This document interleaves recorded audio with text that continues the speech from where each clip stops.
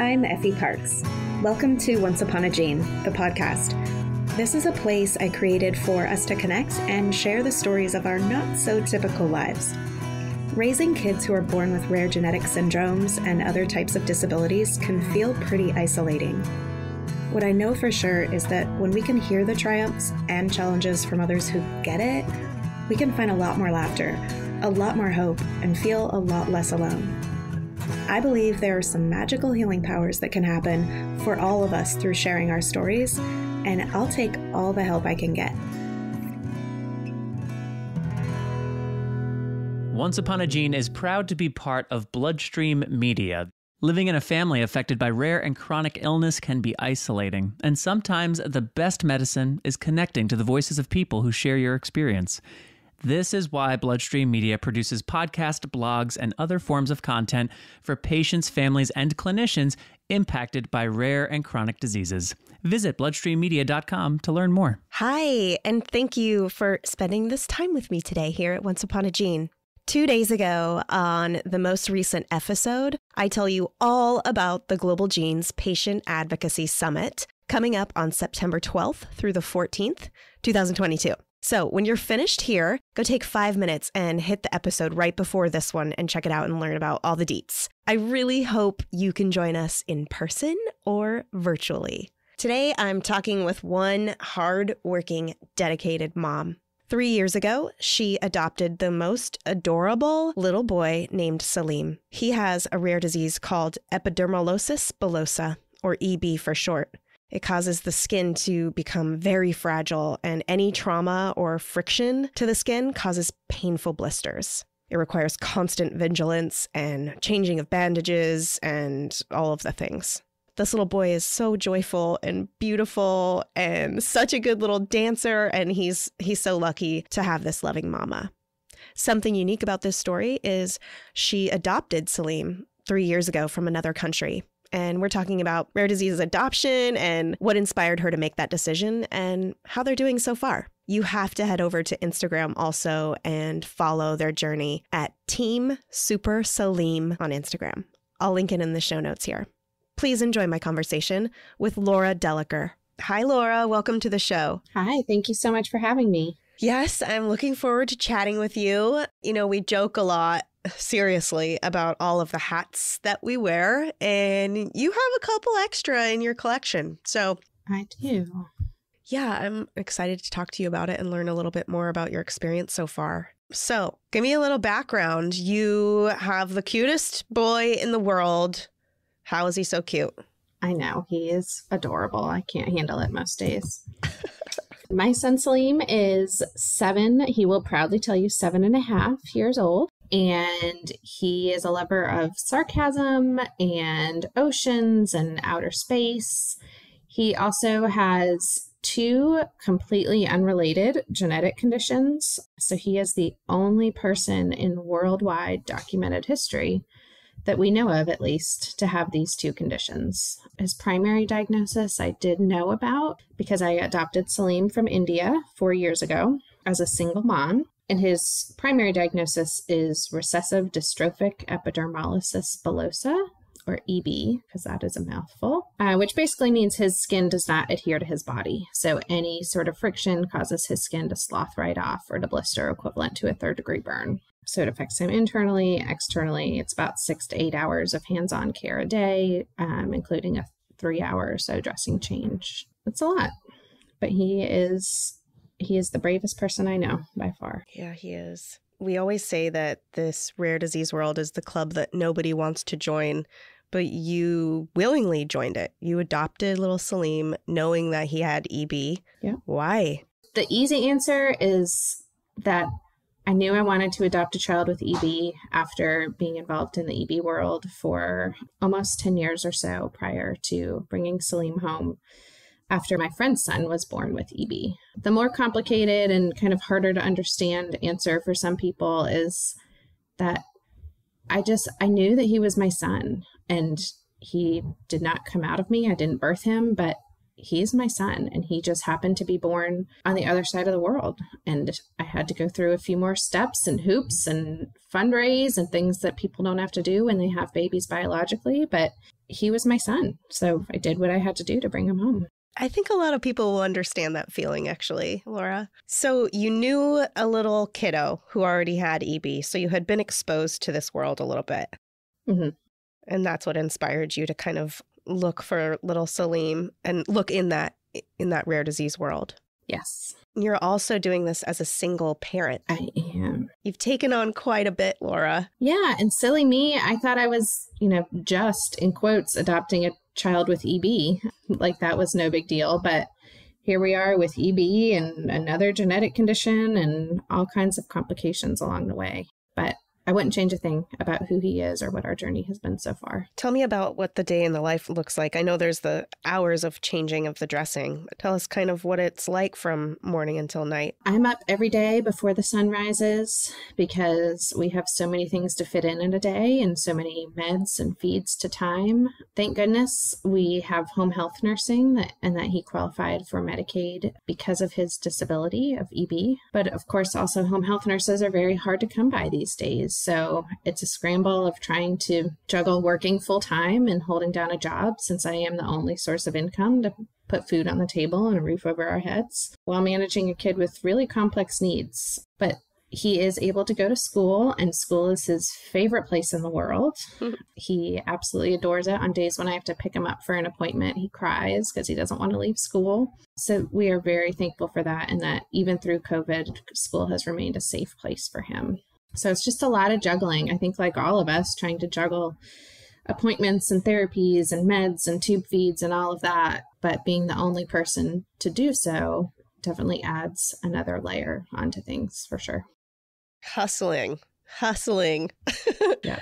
The world of uh, single parenting is one thing, but the world of adding on raising a little kiddo with a couple rare diseases is there a supportive adoption community within this this niche? Is there an adoptive niche supportive community that you found or is it more so the greater rare disease community that you've kind of found your support and your people? There is a wonderful adoptive community and i have a lot of friends who've adopted kids from india and we thankfully have been able to stay in touch with some of salim's friends from when he lived in india. But it still is also feels a little bit out of place because there's nobody else with either one of his genetic conditions in the adoption community, let alone both of them, of course. And not very many people who have taken on such I don't like to use the word severe needs, but I would guess maybe all encompassing or time consuming needs like Salim has, and to the extent that his medical needs are. The rare disease community is absolutely wonderful, but I have not found a single other adoptive parent who's adopted as a single parent in the rare disease community as well. So, you know, there's a lot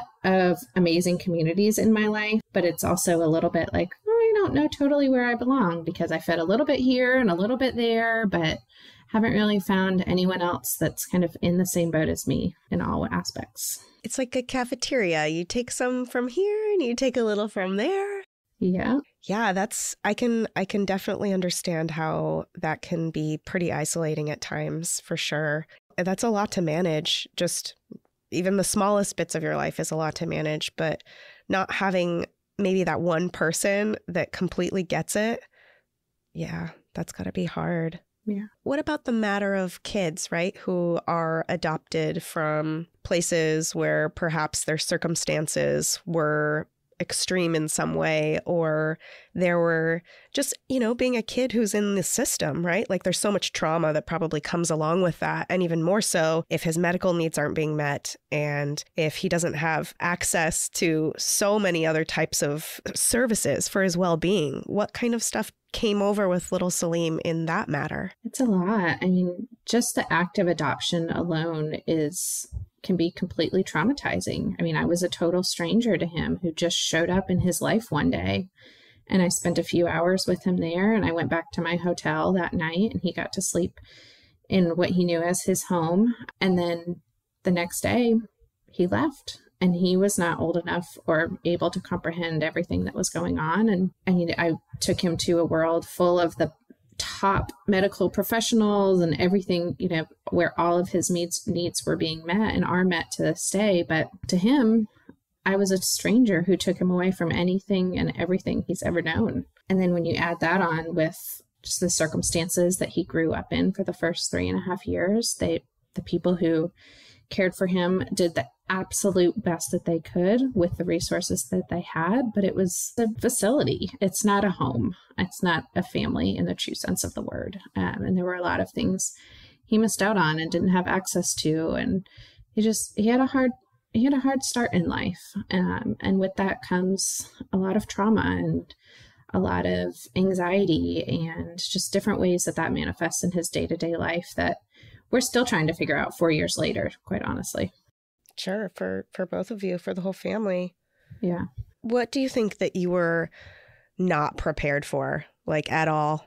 What did you not see coming or having to having to manage so much with this experience? Like I said, I thought I was, you know, just adopting a kid with EB, you know, one severe genetic condition. I did not see another one coming at all. We actually did a WES, the whole exome screening, just to or sequencing to kind of rule out a few things because he was having some neurological symptoms. And we never got an answer for those neurological symptoms. They're still here to this day with no answer. But this other genetic condition came out of left field.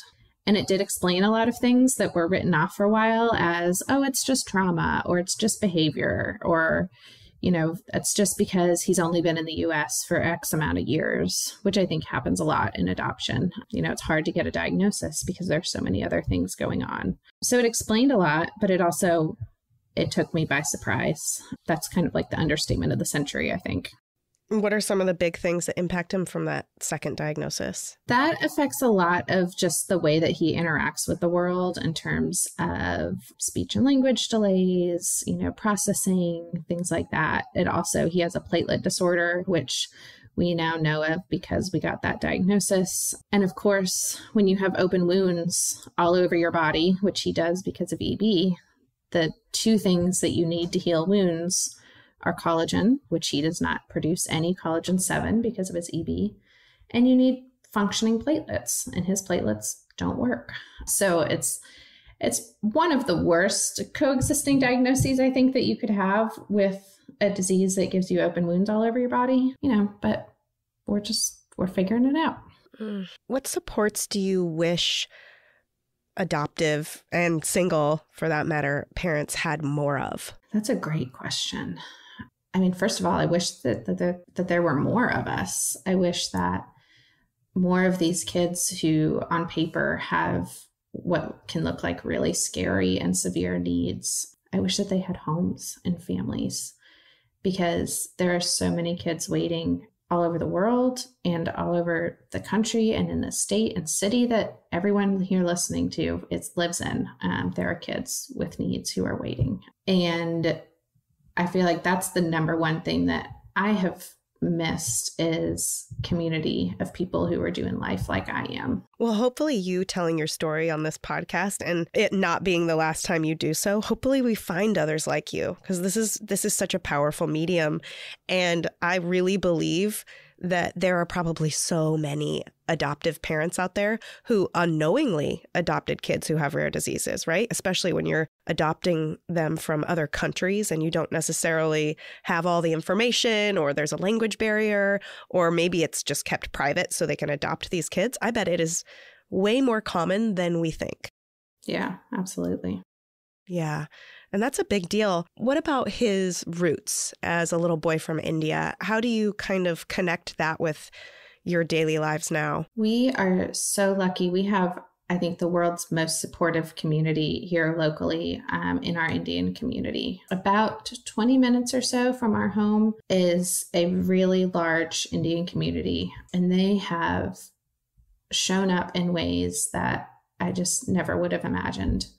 It was actually our local Indian community when we first came home that stepped up the most, that took it upon themselves to create a SignUpGenius to have everyone sign up four times to come over and help me cut his bandages and vacuum the floors and do the dishes. I mean, things that I was just, especially in the beginning, so overwhelmed by. and they showed up and I I am so incredibly thankful for their love and support to this very day. Salim does Bollywood dancing. He's going to perform in June. He just performed last weekend at a camp that we went to. He absolutely adores India. He talks about it all the time. COVID threw a major wrench in our plans of going back, but we will make it back soon, hopefully sooner than later. But it's still it's a huge part of our lives and that's a big part of international adoption is making sure that you know you're equipped to to keep these kids connected to their roots because it's it's so it's so integral. That is amazing. I love that you have that community. Where do you live, Laura? We live um, in the Raleigh Durham area of North Carolina. So many great things going on in North Carolina. Yeah. Yes. I love that so much. What about his skin? So I know that you're changing his bandages every day and his skin doesn't adhere to his body. Right. What is it like to even just go somewhere if you're going to be gone the whole day? Or can you even do that? How do you travel? Are there days that it's better? Like, is there stuff that helps it? Does it go through cycles of when it's really bad? We definitely go through waves, and we are unfortunately in a really rough spot right now with his skin. I can't remember. Well, I take that back. I can remember one other time in the last four years when it was as bad as it is right now. And there's really no rhyme or reason. I mean, we can sometimes it's heat, sometimes it's sweating, sometimes it's activity level. But I think sometimes, you know, it's just life. And, you know, life comes in waves, and so does rare disease and symptoms flare. And it's just how things go. But when I first brought Salim home, another EB mom said to me, and her son is several years older than Salim, he's a teenager now. She said to me, You know, skin wounds will heal eventually. It may take a long time, but they will heal eventually. But the emotional wounds of always being the one to sit on the sidelines, those are the wounds that will never heal. And I have made that my my parenting mantra. You know, Salim went to soccer camp over spring break and it was non-adapted, non-special needs. It was terrifying and his skin took a beating for it, but he loved it. And that's kind of what we that's how we roll. We do spontaneous day trips. We go out, we do things. We've done spontaneous weekend trips even. It is a lot of work. And I, you know, spontaneous, I say that, but it takes a lot of planning still. Trust me, I get what the spontaneous part means. yeah. But I also, you know, try to keep things pre packed in the car so we can do things or we can change schedules as much as we can and just really let him be a kid because unfortunately life is short. And when you have his type of EB, life can be even shorter. Um, so, really just trying to enjoy every second. I admire you so much for coming into it with that mindset and choosing, right? Choosing maybe the road that is hard by going out and doing things and being spontaneous and letting him be in environments that he might get hurt in, but doing it because it makes him happy, which then makes you happy.